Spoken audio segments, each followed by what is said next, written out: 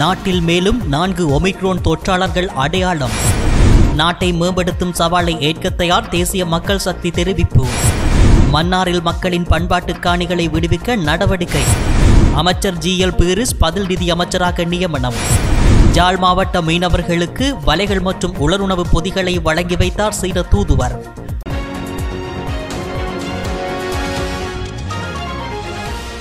நாட்டில் மேலும் நான்கு ஒமிக்ரோன் தொற்றாளர்கள் பதிவாகியுள்ளதாக ஸ்ரீ ஜெயவர்த்தனபுர பல்கலைக்கழகத்தின் மூலக்கூறு உயிரியல் பிரிவின் கலாநிதி சந்திம ஜீவந்தர் தெரிவித்துள்ளார். அவர் வெளியிட்ட டுவிட்டர் செய்தியில் எதிர்பார்த்தபடி நாட்டில் தற்போது ஒமைக்ரோன் நோய் தொற்றுகள் இருப்பதாக தகவல் தெரிவிக்கப்பட்டுள்ளது. எனவே பூஸ்டர் தடுப்பூசியை உடனடியாக போட வேண்டும் என அவர் வலியுறுத்தியுள்ளார். முன்னதாக ஒமைக்ரோன் நோய் தொற்று இலங்கையிலிருந்து பதிவாகி இருந்ததுடன் பாதிக்கப்பட்ட பெண் நைஜீரியாவுக்கு விஜயம் செய்து இலங்கை திரும்பியதாக தெரிவிக்கப்பட்டுள்ளது. மேலும் அவர் முறையான தனிமைப்படுத்தலுக்கு உட்படுத்தப்படவில்லை என்றும் மாகாண மருத்துவ அதிகாரிக்கு அறிவிக்கப்படவில்லை என்றும் குற்றச்சாட்டப்பட்டது.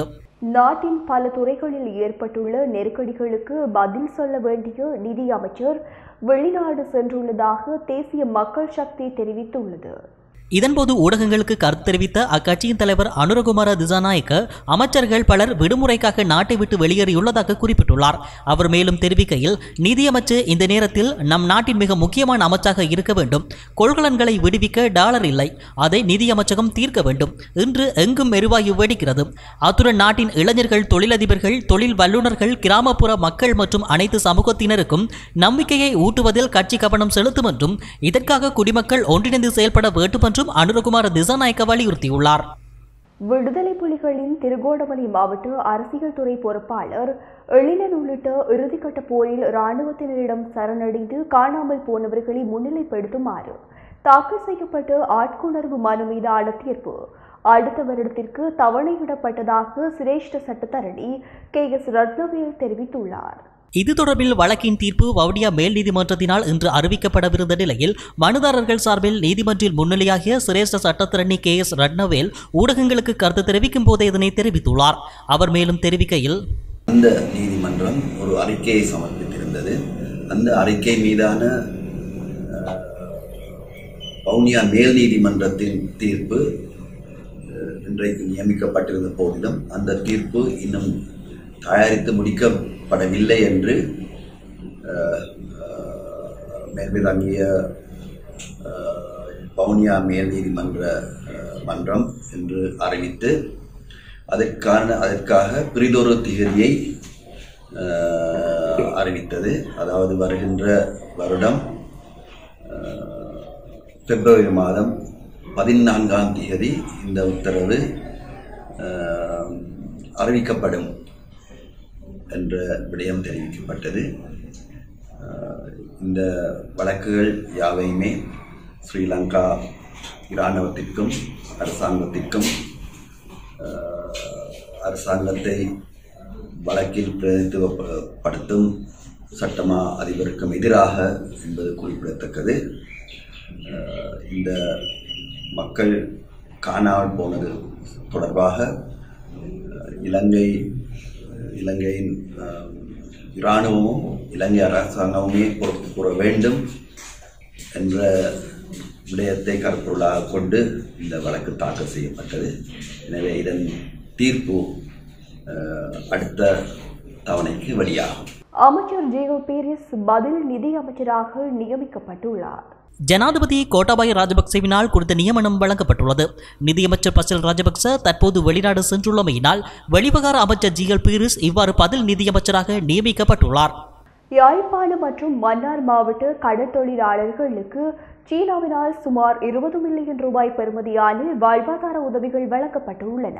இலங்கைக்கான சீன தூதுவர் ஹீ சன் ஹங் வடமாகாணத்திற்கான விஜயத்தினை மேற்கொண்டுள்ளார். இதன்போது அவர் ஜாழ் மாவட்ட கடற்றொழிலாளர் கூட்டுறவு சங்க சமாசங்களின் சம்மேளனத்தின் ஊடாக ஜாழ் மாவட்ட கடற்றொழிலாளர்களுக்கு சுமார் பதிமூன்று தசம் ஏழு ஐந்து பில்லியன் ரூபாய் பெறுமதியான உணவுப் பொதிகளையும் ஆறு மில்லியன் ரூபாய் பெறுமதியான வலைகளையும் வழங்கி வைத்துள்ளார். இலங்கைக்கான சீன தூதுவரின் அழைப்பினை ஏற்று ஜாழ் மாவட்ட கடற்றொழிலாளர் சம்மேளனத்தில் நடைபெற்ற குறித்த நிகழ்வில் கடற்றொழில் அமைச்சர் டக்ளஸ் தேவானந்தா கலந்து கொண்டு உதவி திட்டங்களை பயனாளர்களுக்கு வழங்கி வைத்தார். கொரோனா பரவல் உட்பட பல்வேறு காரணங்களினால் வாழ்வாதார அச்சுறுத்தலை எதிர்கொண்டுள்ள வடக்கு கடற்றொழிலாளர்களுக்கு வாழ்வாதார உதவிகள் தேவைப்படுவதாக கடற்றொழில் அமைச்சர் டக்ளஸ் தேவானந்தா பல்வேறு தரப்புகளிடமும் கோரிக்கை முன்வைத்த நிலையில் சீனாவினால் முதல் கட்டமாக குறித்த உதவிகள் வழங்கப்பட்டுள்ளமை குறிப்பிடத்தக்கது. இரு கட்டங்களாகவும் தடுப்பூசியை பெற்றதன் பின்னர் கோவிட் தொற்றுக்கு உள்ளாகும் தொற்றாளர்கள் ஆறு மாதங்களின் பின்னரே மூன்றாம் கட்ட தடுப்பூசியை பெற வேண்டும் என சுகாதார அமைச்சின் தொற்று நோயியல் பிரிவின் பிரதானி விசேட வைத்திய நிபுணர் சமித்த கிணிகே தெரிவித்துள்ளார். சுகாதார மேம்பாட்டு பணியகத்தில் நேற்று இடம்பெற்ற ஊடகவியலாளர் சந்திப்பில் இதனை தெரிவித்த அவர் மேலும் குறிப்பிடுகையில் கடந்த இரு வாரங்களாக நாட்டில் மூன்றாம் கட்ட தடுப்பூசி வழங்கும் பணிகள் முன்னெடுக்கப்பட்டு வருகின்றன. இருபது வயதிற்கு மேற்பட்ட முதல் இரு கட்ட தடுப்பூசிகளையும் பெற்று மூன்று மாதங்கள் நிறைவடைந்துள்ள சகலரும் எந்தவொரு தடுப்பூசி நிலையத்திலும் மூன்றாம் கட்ட தடுப்பூசியை பெற்றுக்கொள்ள முடியும். எனினும் தற்போது வரையிலும் கூட கணிசமானோர் முதல் கட்ட தடுப்பூசியை ஏனும் பெற்றுக்கொள்ளாமல் உள்ளனர். அது மாத்திரமின்றி முதற்கட்ட தடுப்பூசியை பெற்ற சிலர் உரிய காலத்தில் இரண்டாம் கட்ட தடுப்பூசியை பெறாமல் உள்ளனர். எனவே அவ்வாறானவர்களை இப்போதாவது தடுப்பூசியை பெற்றுக்கொள்ளுமாறு வலியுறுத்துகின்றோம். எனினும் முதலிரு தடுப்பூசிகளையும் பெற்று அதன் பின்னர் எவரேனும் கோவிட் தொற்றுக்கு உள்ளாகி இருப்பார்களாயின் அவ்வாறானவர்கள் தொற்றுறுதி செய்யப்பட்டு ஆறு மாதங்களின் பின்னரே மூன்றாம் கட்ட தடுப்பூசியை பெற வேண்டும். அவ்வாறு பெற்றுக்கொண்டால் மாத்திரமே நோய் எதிர்ப்பு சக்தியை அதிகரித்துக் கொள்ள முடியும் என்றார். வில்பத்து தேசிய பூங்காவின் எழுவன்குளம் நுழைவாயிலுக்கும் கலாவோயாவிற்கும் குறுக்கே தொங்கு பாலம் அமைப்பதற்கான அடிக்கல் வனஜீவராசிகள் மற்றும் வன பாதுகாப்பு அமைச்சர் சி. பி. ரத்நாயக்கு நாட்டியுள்ளார். குறித்த நிகழ்வு நேற்று மாலை இடம்பெற்றது. ஜெர்மன் அபிவிருத்தி ஒத்துழைப்பு திட்டத்தின் அனுசரணையில் நிர்மாணிக்கப்படவுள்ள குறித்த பாலமானது சுற்றுலா பயணிகளை கவரும் வகையிலும் பில்பத்து தேசிய பூங்காவிற்கு இலகுவாக செல்லக்கூடிய வகையிலும் குறித்த தொங்கு பாலம் அமையும் என எதிர்பார்க்கப்பட்டுள்ளது. குறித்த அடிக்கல் நாட்டும் நிகழ்வில் ஜெர்மன் அபிவிருத்தி ஒத்துழைப்பு திட்டத்தின் திட்ட பிரதிநிதி திருமதி கிறிஸ்டி ஆன் ஜான்பில்ட் வனஜீவராசிகள் மற்றும் வன பாதுகாப்பு அமைச்சின் செயலாளர் சோமரத்ன விதானபத்ரன வனஜீவராசிகள் பிரதிப்பணிப்பாளர் மஞ்சுள அமரத்ன தோட்டக்கலை பிரதிப்பணிப்பாளர் சாந்தினி வில்சன் ஆகியோர் கலந்து கொண்டு அமைச்சர் சி பி ரத்நாயக்காவுடன் இணைந்து கொண்டு அடிக்கல்லை நாட்டி வைத்தனர். மன்னார் மாவட்டத்தில் வனஜீவராசிகள் மற்றும் வன பாதுகாப்பு திணைக்களத்தின் கீழ் காணப்படும் மக்களின் பண்பாட்டு காணிகளை விடுவிக்க நடவடிக்கை எடுக்கப்பட்டுள்ளது. மன்னார் மாவட்டத்தில் உள்ள ஐந்து பிரதேச செயலாளர் பிரிவுகளிலும் வனஜீவராசிகள் மற்றும் வன பாதுகாப்பு திணைக்களத்தின் கீழ் காணப்படும் மக்களின் பயன்பாட்டு காணிகள் மற்றும் விடுவிக்கப்பட வேண்டிய காணிகள் எதிர்வரும் ஜனவரி மாதம் முப்பதாம் தேதிக்கு முன்னர் குறித்த பிரச்சனைகளுக்கு நிரந்தர தீர்வை பெற்றுக் கொடுப்பது என வனஜீவராசிகள் மற்றும் வன பாதுகாப்பு அமைச்சர் சி பி ரத்நாயக்கா தலைமையில் மன்னார் மாவட்ட அரசாங்க அதிபர் திருமதி ஏ ஸ்டாண்டி டி மேல் ஏற்பாட்டில் இன்று காலை பத்து முப்பது மணியளவில் மன்னார் மாவட்ட செயலகத்தின் கேட்போர் கூடத்தில் குறித்த கலந்துரையாடல் இடம்பெற்றது. இதன்போதே குறித்த தீர்மானம் எடுக்கப்பட்டுள்ளது. மன்னார் மாவட்டத்திற்கு விஜயத்தை மேற்கொண்ட வனஜீவராசிகள் மற்றும் வன பாதுகாப்பு அமைச்சர் சி பி ரத்நாயக்க மாவட்ட செயலகத்தில் விசேட கலந்துரையாடல் ஒன்றை மேற்கொண்டிருந்தார். வனஜீவராசிகள் மற்றும் வன பாதுகாப்பு அமைச்சர் சி பி ரத்நாயக்க தலைமையில் இடம்பெற்ற குறித்த கலந்துரையாடலில் மாவட்டத்தில் உள்ள ஒவ்வொரு பிரதேச செயலாளர் பிரிவுகளிலும் உள்ள காணி தொடர்பாக பிரச்சனைகள் குறித்து விரிவாக ஆராயப்பட்டது. இதன்போது பிரதேச செயலாளர்கள் தமது பிரிவில் வனஜீவராசிகள் மற்றும் வன பாதுகாப்பு திணைக்களத்தின் கட்டுப்பாட்டில் உள்ள காணிகளை விடுவிப்பது குறித்தும் குறிப்பாக மக்களின் பயன்பாட்டில் உள்ள பல ஏக்கர் விவசாய காணிகள் வனஜீவராசிகள் மற்றும் வன பாதுகாப்பு திணைக்களத்தின் கட்டுப்பாட்டில் உள்ள நிலையில் விவசாயிகள் எதிர்கொள்ளும் பிரச்சனைகள் குறித்தும் அமைச்சர் சி. பி ரத்நாயக்கா உள்ளிட்ட அமைச்சர்கள் மற்றும் பாராளுமன்ற உறுப்பினர்களின் கவனத்திற்கு கொண்டு வந்தனர். இந்நிலையில் பிரதேச செயலாளர்கள் மற்றும் அதிகாரிகள் முன்வைக்கின்ற பல பிரச்சனைகள் உடனே தீர்க்க முடியாத காரணத்தினால் விசேட குழு ஒன்றை நியமித்து எதிர்வரும் ஜனவரி மாதம் முப்பதாம் தேதிக்கு முன்னர் குறித்த பிரச்சனைகளுக்கு நிரந்தர தீர்வை பெற்றுக் கொடுப்பதென வனஜீவராசிகள் மற்றும் வன பாதுகாப்பு அமைச்சர் சி பி ரத்நாயக்க தலைமையில் இடம்பெற்ற குறித்த கலந்துரையாடலில் தீர்மானிக்கப்பட்டமை குறிப்பிடத்தக்கது. கிண்ணியா வைத்தியசாலை தாதி உத்தியோகத்தர்கள் கவனஈன போராட்டத்தில் ஈடுபட்டுள்ளனர். அரசதாதி உத்தியோகத்தர் சங்கம் இன்று பல கோரிக்கைகளை முன்வைத்து சுகையின போராட்டத்தில் ஈடுபட்டு வருகின்றன. இப்போராட்டத்தில் கிட்னி ஆதர வைத்தியசாலை தாதியர்கள் உத்தியோகத்தர்களும் தமது சுகையின போராட்டம் மேற்கொண்டு வருகின்றனர். இதனால் வைத்தியசாலைக்கு சிகிச்சை பெறுவதற்காக வந்த நோயாளிகள் பலர் சிரமங்களை எதிர்நோக்கினர். கல்முனை அம்பாறை பிராந்திய சிக்கன கடனுதவி கூட்டுறவு சங்கங்களின் சமாசத்தின் முப்பதாவது வருடாந்த பொதுச்சபை கூட்டம். சமாச தலைவர் எஸ். லோகநாதனின் தலைமையில் இன்று சமாச காரியாலயத்தில் நடைபெற்றுள்ளது. இக்கூட்டத்திற்கு சங்கத்தின் பிரதிநிதிகள் கல்பனை கூட்டுறவு உதவி ஆணையாளர் அலுவலகத்தின் தலைமை கூட்டுறவு அபிவிருத்தி உத்தியோகத்தர் எம்ஐஎம் பரீட் பிரதம அதிதியாக கலந்து கொண்டதுடன் சிரேஷ்ட கூட்டுறவு அபிவிருத்தி உத்தியோகத்தர்களான திருமதி ஆர். ராமகிருஷ்ணன் திருமதி எஸ். ரமேஷ்குமார் ஆர். பவபிரகாஷன் திருமதி கே. ஜெகதீசன் உள்ளிட்டோர் கலந்து கொண்டனர். இதன்போது கடந்த கால செயற்பாடுகள் மற்றும் சென்ற வருட கணக்காய்வு அறிக்கை ஆராயப்பட்டதுடன் எதிர்வரும் வருடத்திற்கான வரவு செலவு திட்டமும் சமர்ப்பிக்கப்பட்டு அங்கீகரிக்கப்பட்டதுடன் புதிய நிர்வாகிகள் தேர்வும் இடம்பெற்றது.